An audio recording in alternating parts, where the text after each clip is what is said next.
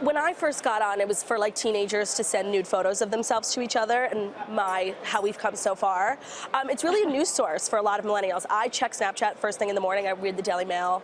That's how I get my number one source of news. That's used to be Twitter for me, and a lot of people do the same thing.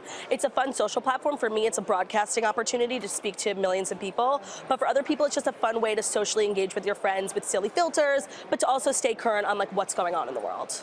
You're also on Instagram, though. Of course. So Snapchat versus Instagram. So tough, so tough because Instagram stories for me as a creator is great. It's another opportunity for me to engage people, for me to monetize. It feels a little forced. Uh, it feels like it's much more natural on Snapchat because that's how the platform evolved.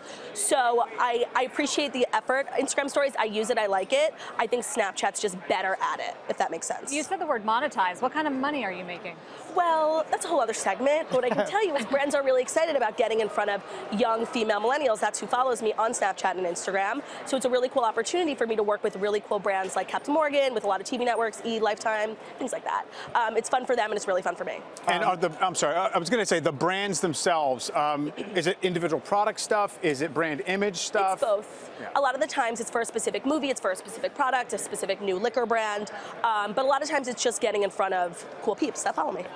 Uh, speaking of which, uh, getting in front of people on Twitter, it's obvious, right? You're getting retweeted. Right. There's, it's easy for people to discover you. They even suggest who to follow.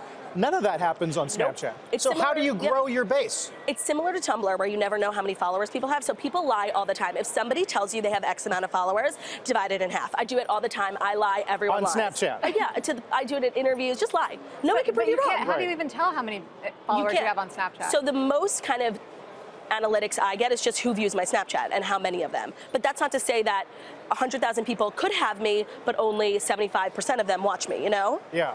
But does it matter to you how many followers you have on? I mean, uh, Snapchat's argument yeah. is that it's not about user growth. It's not that's what's really important. So I have. You buy that? You believe? Yeah, I completely do. I have about two and a half million followers on Instagram, and I have a hundred thousand on Snapchat. Those hundred thousand people are so much more valuable. Like if I was just nominated for a Shorty Award, which is you know huge in the digital world. Thank you.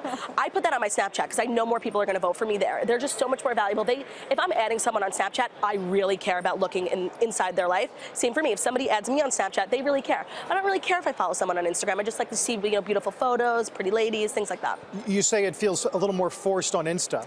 Yeah. Do you believe Facebook can find ways to get better at that? It already is getting better. Yeah, they added the stickers, they added cute little geo filters. They're they're getting with it and it's getting better.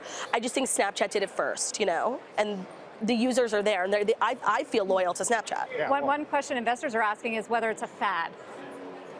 I mean, I think everyone thought it was a fad when 12-year-olds were sending selfies of themselves to each other. And now, you know, some of the biggest publishers in the world are on Snapchat Discover. So I don't think so, but older people just tend to write it off. Is this your primary job or is this yes. a hobby? Uh, well, it was a hobby when I was in school, but now it's a full-time job. Being a girl with no job is a full-time job. Is there something that investors right now, now this is a public company, wanting to know what the next act for Snapchat can be in terms of the platform, in terms right. of what they can introduce, what they can become.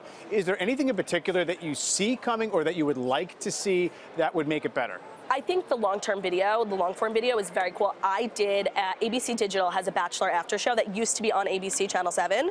Now it's on Snapchat. They get just as many viewers, I think actually a little more. I did it. It was so fun and it was so much funnier because there's not as many rules as when you're on cable. You could say the F word, you know? So, which I particularly like. so that was just the long-form video, whether it's political, whether it's entertainment news, celebrity stuff, the long-form stuff is really fun to watch. And for me, it's really fun to participate in. Hey there, thanks for checking out CNBC on YouTube. Be sure to subscribe to stay up to date on all of the day's biggest stories. You can also click on any of the videos around me to watch the latest from CNBC. Thanks for watching.